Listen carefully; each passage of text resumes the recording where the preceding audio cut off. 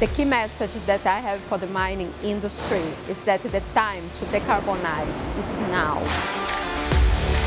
When you are retrofitting, that means you are reusing your existing assets.